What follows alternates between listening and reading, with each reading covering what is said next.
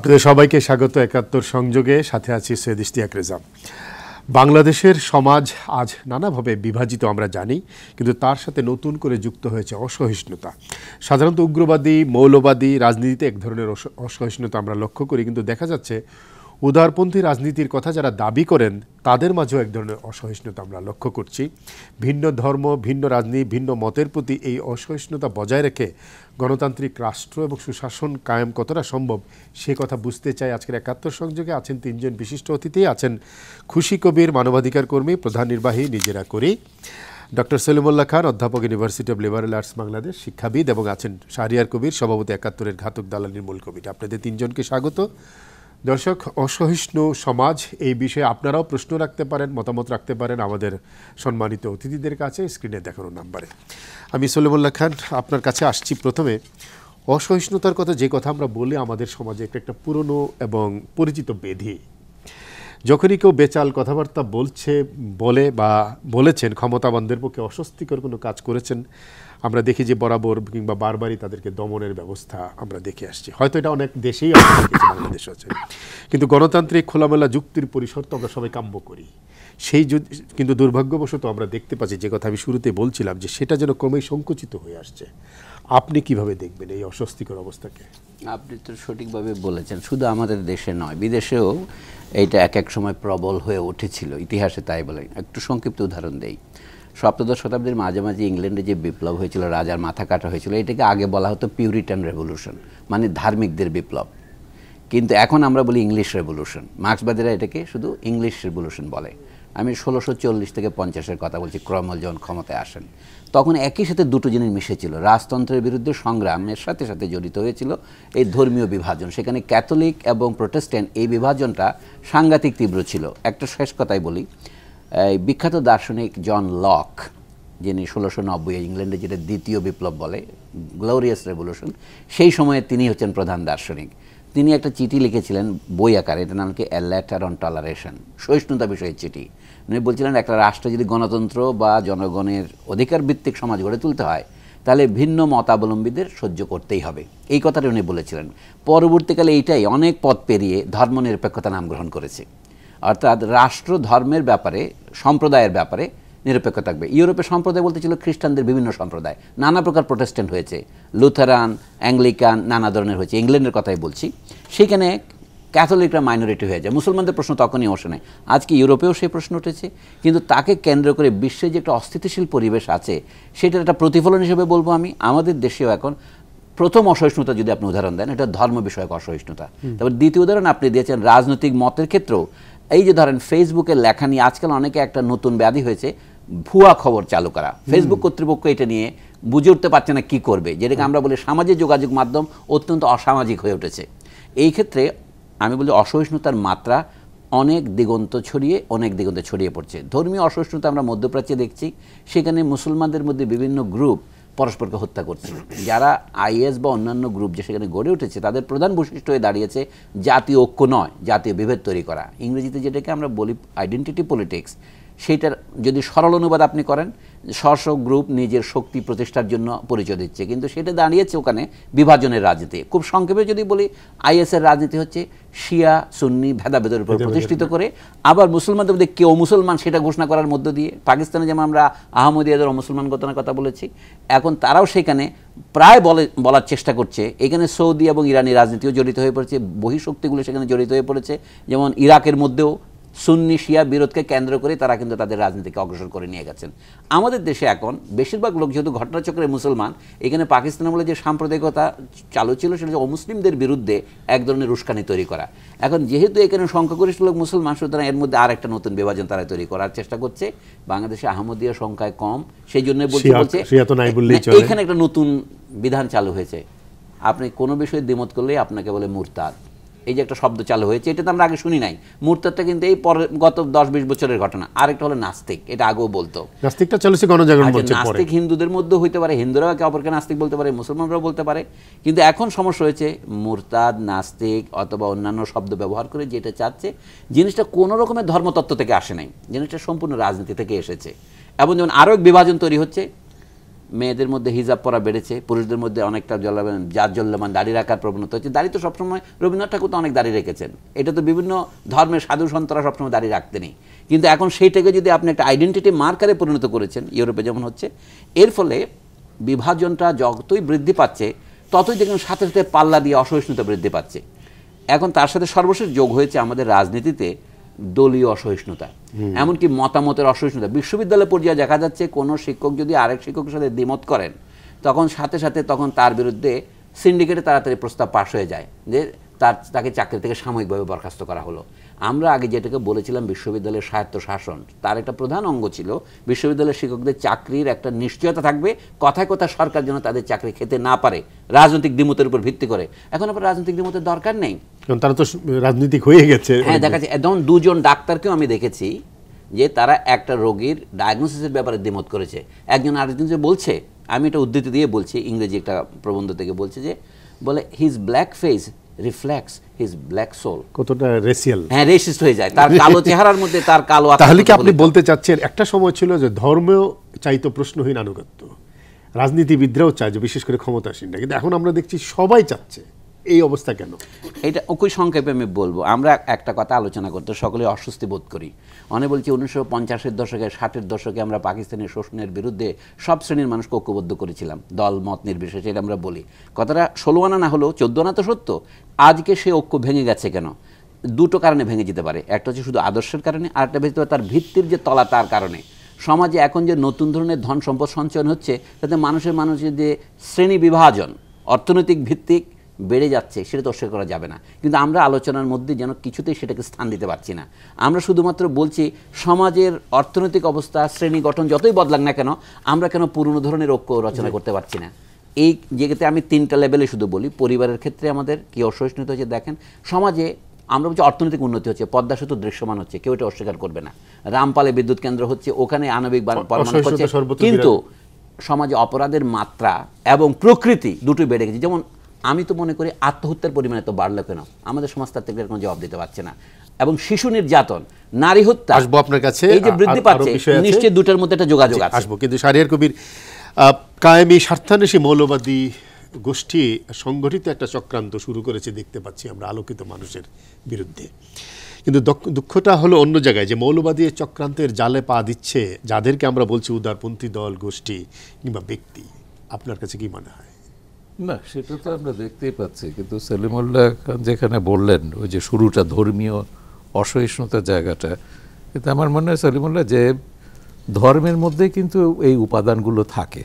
আপনি ধরুন যে কি আজকে সালাফি বা ওহাবি যাদেরকে আইএস বলি আল কায়দা বাংলাদেশে যারা জামাত বলছি মদুদিবাদ এরা কিন্তু ধর্ম থেকেই নিচ্ছে তাদের এলিমেন্টগুলো। আপনি একেবারে মধ্যযুগে যান, ইবনে তাইমিয়া সেখান থেকে শুরু করেন ইবনে তাইমিয়ার ঘটনাটা হচ্ছে, আজকাল আমি এটা নিয়ে ওই যে সুফিবাদ নিয়ে কাজ করছি।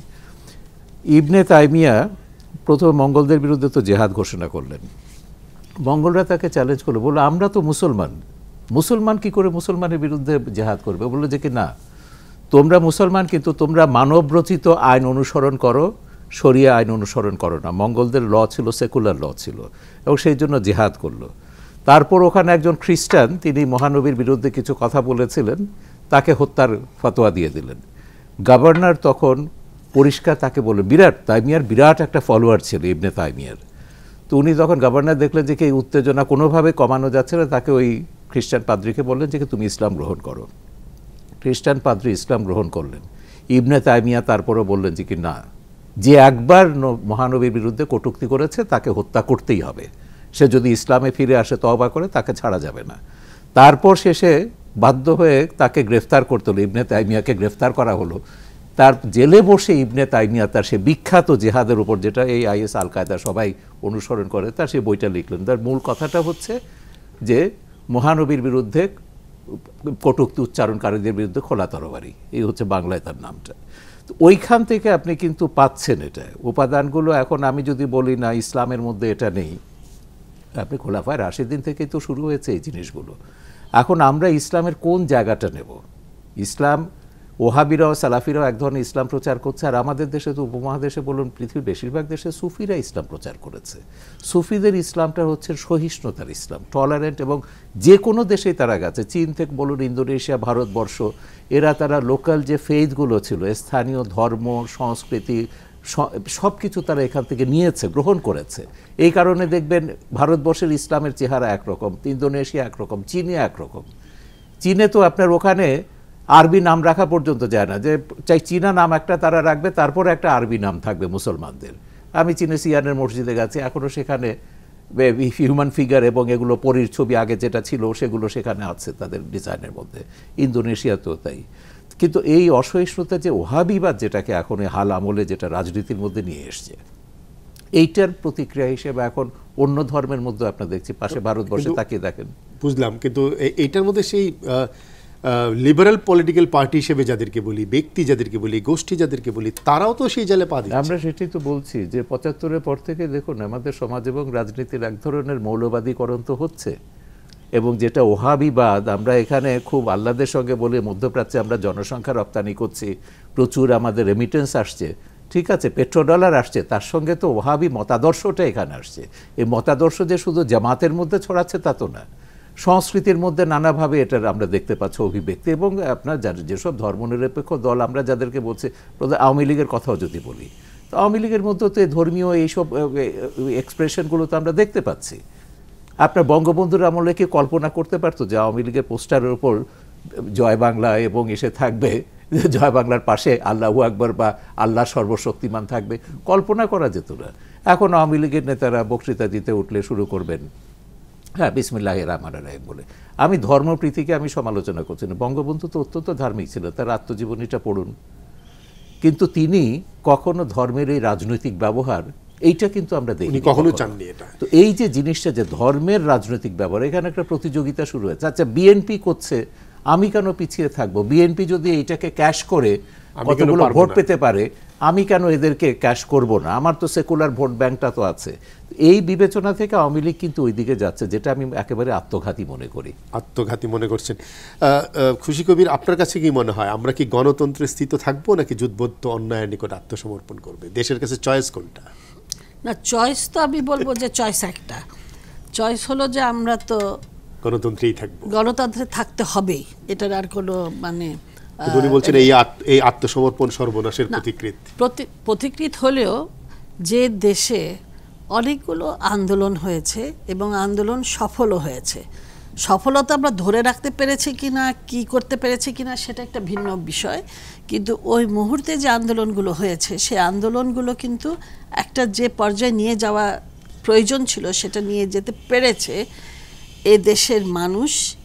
অনেক মানে অনেক কিছু অতিক্রম করে, অনেক ত্যাগ দিয়ে, অনেক জীবন গেছে। তারপরেও ভীত হয়নি, পিছপা হয়নি, হত্যা করা হয়েছে তাদেরকে, ট্রাক চাপ চালিয়ে দেওয়া হয়েছে মিছিলের উপর। আরও অনেক ঘটনা একদম প্রথম থেকেও যদি দেখি ঘটে থাকে। তো আমি বিশ্বাস করি যে আমাদের নিজেদের অস্তিত্বর জন্য এ দেশের মানুষ এটাকে বেশি দিন গ্রহণ করবে না। এটা দিলে যদি এটা আসে আমাদের দেশে একটা নীতি হিসাবে, একটা মানে শাসন ব্যবস্থা হিসাবে এটার বিরুদ্ধে দাঁড়াবে। আমি কি কারণে দাঁড়াবে? আমি যদি বলি যে এখানে মানুষ ধর্ম পালন করে। একটা হলো যে সবাই যে মুসলমান সেটা না যদিও প্রচেষ্টা চলছে যে সবাইকে মুসলমান বানানো আর অমুসলিমদেরকে এখান থেকে তাড়িয়ে দেওয়া। এই প্রচেষ্টা তো চলছে কেন সংখ্যা বলে যে আমাদের এখন কত কম সংখ্যা এখন অমুসলিম যেটা আমাদের স্বাধীনতার পর যা ছিল। কিন্তু যেটা হচ্ছে যে এখানে যতই যা করা হোক এখানে কিন্তু মানুষ ধর্ম বিশ্বাস করে কিন্তু ধর্ম বিশ্বাস করার সাথে সাথে তারা তাদের নিজেদের জীবনের নিজের সংস্কৃতিটাও চালায়। আরবি নাম আরবি নাম মুসলমানের নাম যেটা আসলে আমার কাছে আমি সবসময় এই জিনিসগুলো প্রশ্ন করি যে আরব দেশের যারা অমুসলিম তাদেরও আরবি নাম। কেন এটা তাদের তাদের ভাষার নাম। সংস্কৃতি সেটা। সেটা সেটা ভাষার নাম। তো ইরানে যারা বসবাস করে তাদের ফার্সি নাম। এটা তো মানে ধর্মের সাথে কোনো সম্পর্ক না। এখানে আমাদের দেশে আপনি তারেক ফাতার খুব সুন্দর একটা আর্গুমেন্ট ইন্ডিয়ান মুসলিমদের সম্পর্কে বলেছেন তিনি তার অনেকগুলো এসেতে দেখলাম যে তিনি বলছেন ভারতের মুসলমানরা যতক্ষণ পর্যন্ত তাদের নিজেদের ভাষায় তার সন্তানদের নাম রাখতে না পারবে ততক্ষণ তাদের এই আত্মপরিচয় সংকটটা আমি যেটা আসতে চাচ্ছিলাম যে আমাদের দেশের অধিকাংশ অধিকাংশ সন্তানদের ডাক নাম যে নামে ডাকে সেটা হলো আমাদের এই দেশেরই নাম তাদের নাম অন্য কিছু থাকতে পারে কিন্তু একটা ডাক নাম যেটা আছে পিন্টু তারপরে মিন্টু। খোকন খোকা এই খোকা যাই হোক হ্যাঁ। হ্যাঁ, বাবু সব কিছু মেয়েদের হোক ছেলেদের হোক টুম্পা রুম্পা সেটা কিন্তু আমাদের দেশের একটা নাম চলে আসে তার মানে আমার সংস্কৃতিতে আমি এখন একটা নাম রাখছি যেটা আরবি বা ফার্সি বা কিছু, কিন্তু আমি ডাকছি যেটার সাথে আমি সম্পৃক্ত। আমি ধর্ম যেটা পালন করছি, সেটা হলো আমার এখানে, এ দেশে যেভাবে ধর্মটা চলে আসছে। এ দেশে ধর্মর সাথে এই, এ দেশ তো এক সময় পাকিস্তান ছিল, তারপরে তো মুক্তিযুদ্ধ করে আমরা দেশ বাংলাদেশ স্বাধীন করেছি। এই পাকিস্তানের মুসলমানদের যে রেওয়াজ আর বাংলাদেশের মুসলমানদের রেওয়াজের মধ্যে কিন্তু পার্থক্য আছে। অনেক কিছু দিকে পার্থক্য আছে। তো আমরা তো দেখছি যে এখানকার মুসলমানরা তাদের নিজেদের আবহাওয়া সংস্কৃতি সবকিছু মিলে এটাই হচ্ছে এ দেশের। এটা সব দেশেরই তার একই কথা। আপনি বলছেন যে একটা একটা অসহিষ্ণুতার বার্তা দিচ্ছে ঠিকই কিন্তু এই দেশে শেষ পর্যন্ত আমি বলছি এটা করবে না। রাজনৈতিক ভাবে যদি দিচ্ছে এবং রাজনৈতিক ভাবে চাপিয়ে দিতে চেষ্টা করছে চাপানো জিনিস কোনোদিন বেশি দিন টিকতে পারে না সেটাই আমি বলতে চেষ্টা আমরা আরও আলোচনা আছে কিন্তু একটা বিরতি সময় হয়েছে দর্শক দেখছেন একাত্তর সংযোগ আরও একটা একটা বিরতি সঙ্গে থাকুন।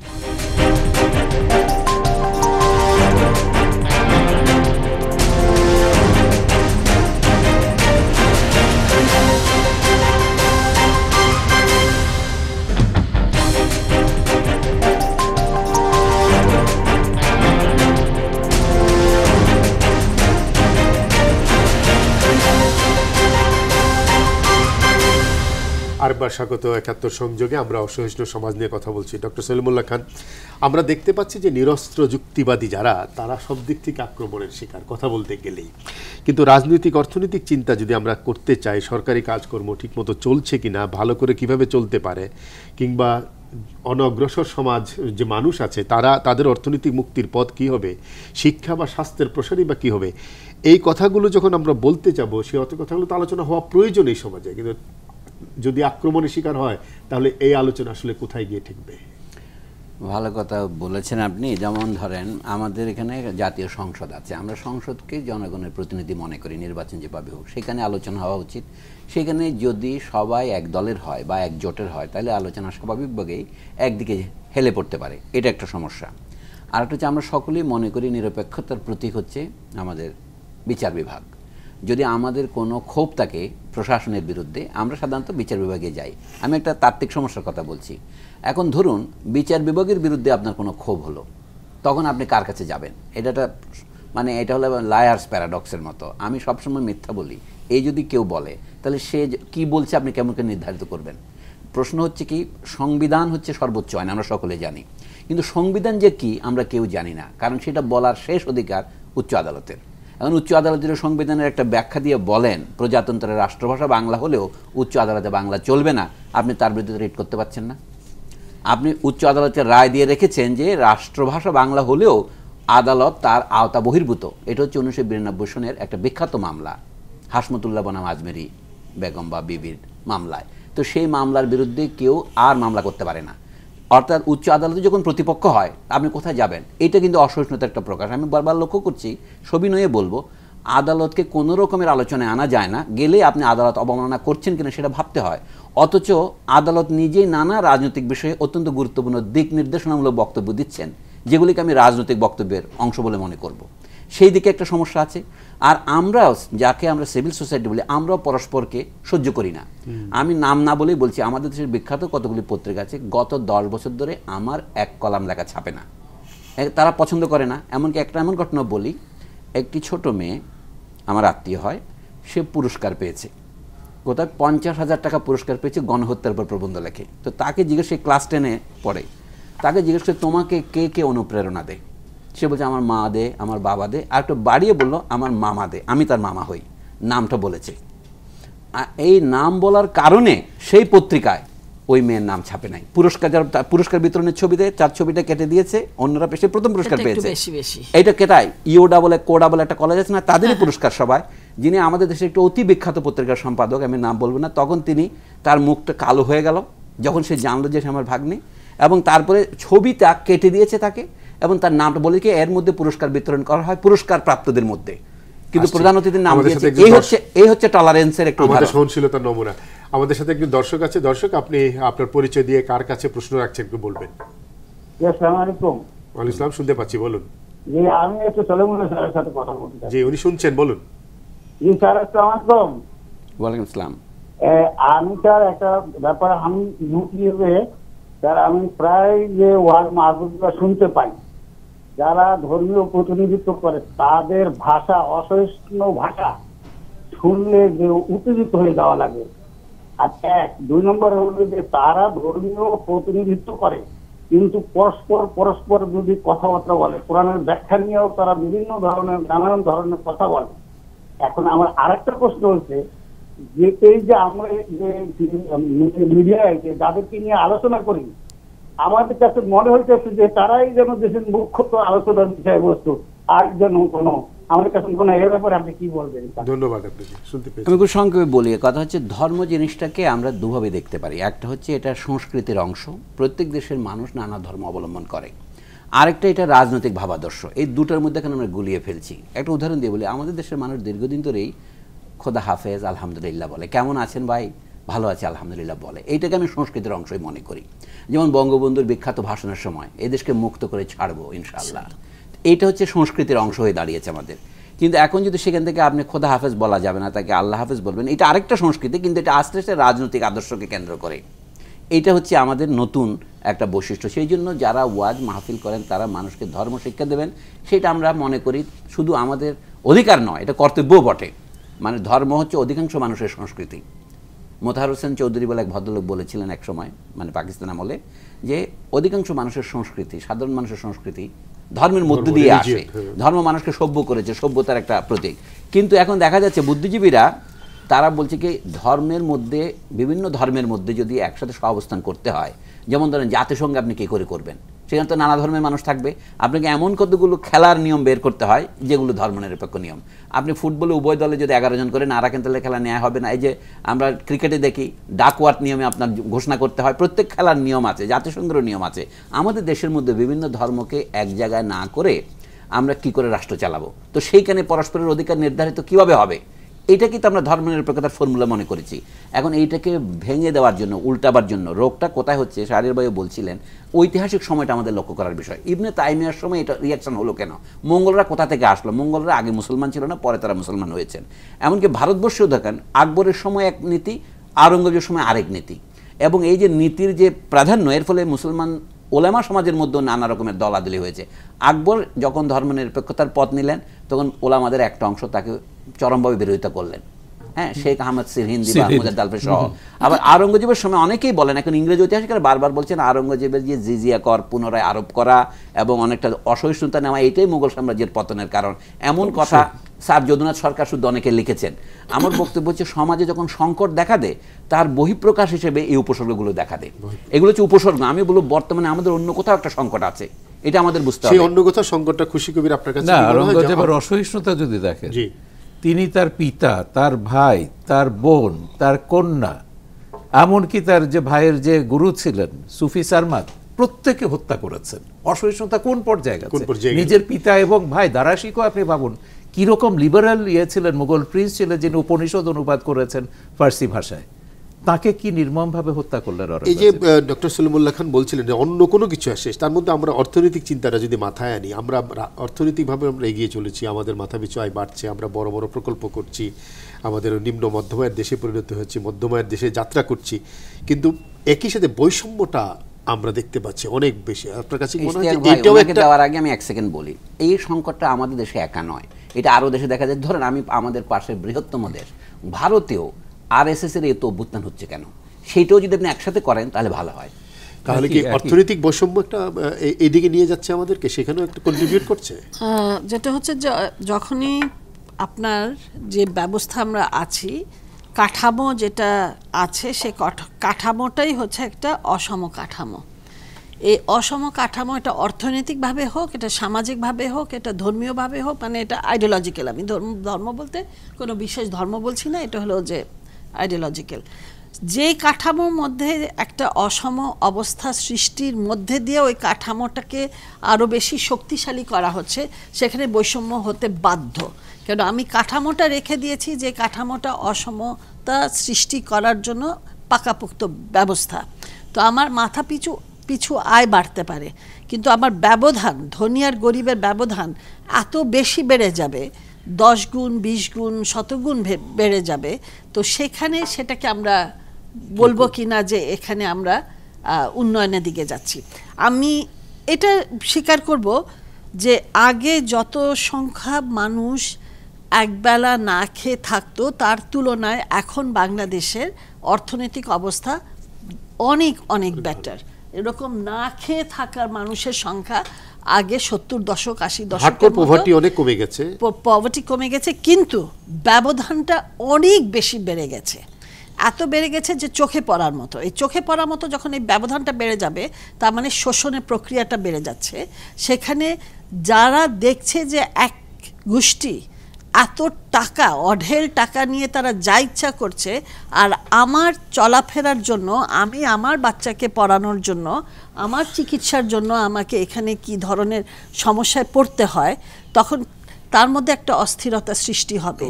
সেখানে সে সে তখন অন্ধকারের পথেও চলে যেতে পারে। সে যে পথ তাকে মনে করছে যে তাকে একটা হলো যে ইদার একটা পথ যাবে যেটা তাকে সমাধান দিবে আর না হলে একটা পথে যাবে সেটা তাকে বস ই করে রাখবে বশ করে রাখবে যে তুমি এখন কিছু করো না পরকালের জন্য তুমি ভালো একটা পাবা। অথবা ইহকালেই সে একটা আচ্ছা খুশি অসহিষ্ণু আপাকে আমি একটা প্রশ্ন করি। একটা ছোট প্রশ্ন করছি ওনাকে যে পাকিস্তান আমলে আপনি দেখেছেন মনে আছে এখনও মনে আছে? আমাদের দেশে কোনো অপরাধের মাত্রা হিসেবে যাই বাড়ুক না কোনো মৃত্যুদণ্ড এবং অন্যান্য অপরাধের শাস্তি পাকিস্তান বেশি হয়েছে না? অনেক বেশি বেড়ে গেছে। তো সেটা আমি খালি বলব যে এই জায়গায় কিন্তু নারীদের বিষয়টা সবচেয়ে আসব নারীদের বিষয়টা আমরা একটু শুনে আসি আমাদের সাথে একজন দর্শক আছেন। দর্শক আপনার পরিচয় দিয়ে কার কাছে প্রশ্ন রাখছেন? জি আসসালামু আলাইকুম। হ্যাঁ, ইসলাম যে আমি খসরু বলছিলাম পিরিজপুরের কাউখালী থেকে। জি। যে আমার সলিমুল্লাহ স্যারের কাছে প্রশ্ন যারা রাজনীতি করেন তাদের মধ্যে রাজনৈতিক প্রতিহিংসা থাকতে পারে রাজনৈতিক প্রতিযোগিতা থাকতে পারে। কিন্তু রাজনৈতিক বাইরে যারা সুশীল সমাজ যারা শিক্ষক যারা আদর্শবান যারা মানুষ গড়ার কারিগর যারা দেশকে নিয়ে ভাবেন তাদের মধ্যেও কিন্তু আমরা অনেক সময় বিভেদ অনৈক্য সেটা নিয়ে কিন্তু অনৈতিক কথাবার্তা যেটা ইতিহাস বিকৃতি করার কথাবার্তা। তাহলে আমরা কোনটা গ্রহণ করব? রাজনৈতিক ব্যক্তিদের কথা আমরা গ্রহণ করব?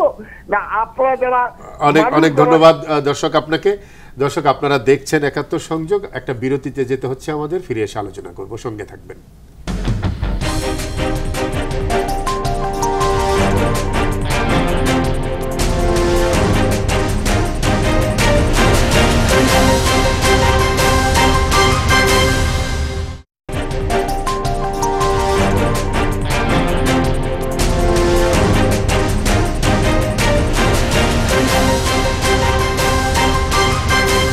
আরেকবার স্বাগত একাত্তর সংযোগ। আমি শাহরিয়ার কবিরের কাছে যেতে চাই কিন্তু সলিমুল্লাহ খান আপনার কাছে একটা প্রশ্ন ছিল যদি সংক্ষেপে উত্তর দেন যে প্রশ্নটা হ্যাঁ হ্যাঁ এই খসরু রাজনীতিবিদ এবং মৌলবাদী চক্রের মধ্যে অসহনশীলতা আছে কিন্তু সুশীলদের মাঝে কেন? আমি যে কাউখালের খসরু সাহেব বিখ্যাত প্রশ্ন করতেন তিনি বিভিন্ন টিভিতে প্রশ্ন করেন আমি তার প্রশ্ন শুনি এবং খুব বুদ্ধিদীপ্ত প্রশ্ন।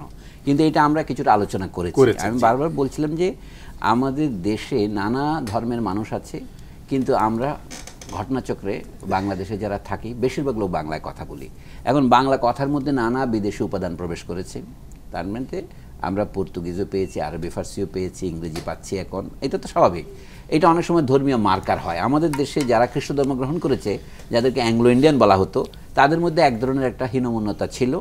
যে তারা মনে করছেন তারা ইংরেজের বংশধর, কিন্তু প্রকৃত ইংরেজ তাদের গ্রহণ করে না। আমাদের মুসলমানদেরও সমস্যা হয়েছে, এটা বলছি। আমরা যদি আরবের বংশধর মনে করি, কিন্তু আরবরা আমাদের মিসকিন বলে। এটা, এই জিনিসটা আমরা এখন আমাদের দেশের মধ্যে যে একটা জাতীয় বোধ এটা এখনও গড়ে ওঠেনি। আমরা মনে করছি একাত্তর সনের মুক্তিযুদ্ধ করে আমরা রাষ্ট্র প্রতিষ্ঠা করেছি। কিন্তু রাষ্ট্র প্রতিষ্ঠা করে একটা সভ্যতা প্রতিষ্ঠা করতে আরও সময় লাগে।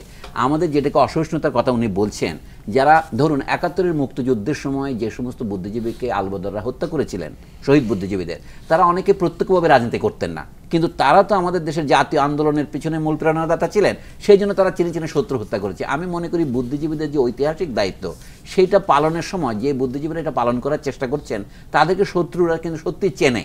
সেই জন্য তাদেরকে তারা মানে, প্রসঙ্গ যেহেতু চলে আসলো তাহলে বাংলাদেশে এখন যে রাজনীতি আমরা দেখতে পাচ্ছি উদার অসাম্প্রদায়িক ধর্মপ্রাণ বাঙালির যে মুক্তির যুদ্ধ সেই যুদ্ধের আদর্শ বা চেতনা কোথায় গিয়ে ঠেকছে তাহলে? আমরা কোথায় না আমরা সেটাই বলছি যে বাংলাদেশ কেন স্বাধীন হয়েছিল?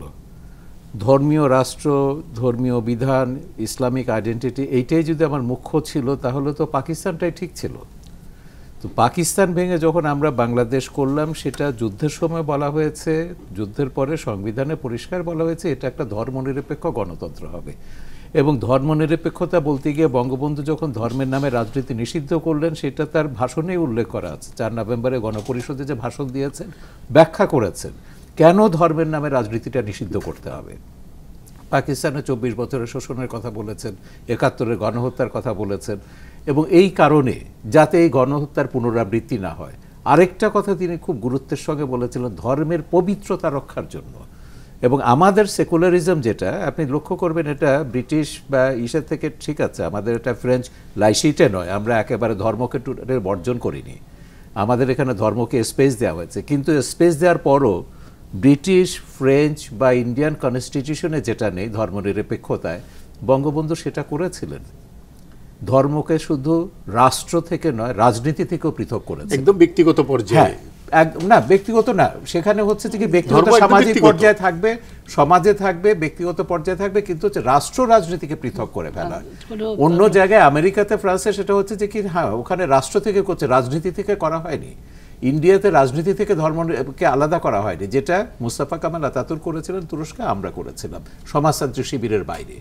কিন্তু সেইটা তার যে দূরদর্শিতা ওইটা আপনাকে দেখতে হবে। বাহাত্তরের সংবিধান নিয়ে যতগুলো আন্তর্জাতিক সম্মেলনে আমি সংবিধান নিয়ে আলোচনা করতে গেছি, ওরা অবাক হয়ে গেছে যে বাহাত্তর সালে বাংলাদেশের মতন দেশ কি করে এই অসাধারণ সংবিধান তৈরি করল। এই জাস্ট আমি এই চেতনার জায়গাটা আমি বলছি, অন্যগুলোতে না। তো সেইখানে আমরা বলছি আমাদেরকে ফিরে যেতে হবে ওইখানে। একাত্তরে বঙ্গবন্ধু, আপনি তার জীবনটা দেখুন। তার মধ্যে ইসলাম বিরোধিতার কিছু আছে। বরং আমি দু মাস আগে পাকিস্তান গেছিলাম। ওরা তার আত্মজীবনী পড়ে উচ্ছ্বসিত। ওরা বলছে, পাকিস্তানে কে? বঙ্গবন্ধু তো পাকিস্তান তৈরি করেছেন।